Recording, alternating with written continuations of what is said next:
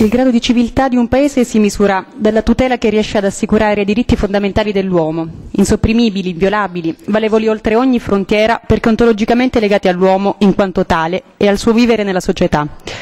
Con riguardo ai soggetti privati della libertà personale, l'Unione Europea ha una grande responsabilità garantire standard minimi di detenzione atti ad assicurare una buona collaborazione giudiziaria tra Stati membri. Lei è al corrente che ancora oggi molti Paesi membri sono ben lontani dall'accordare condizioni di vita all'interno degli istituti di pena non inquadrabili quali trattamenti inumani e degradanti,